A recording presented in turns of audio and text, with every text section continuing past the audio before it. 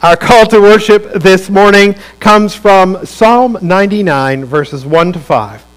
The Lord reigns, let the nations tremble. He sits enthroned between the cherubim, let the earth shake. Great is the Lord in Zion. He is exalted over all the nations. Let them praise your great and awesome name. He is holy.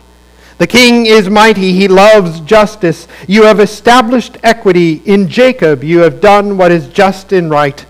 Exalt the Lord our God and worship at his footstool. He is holy.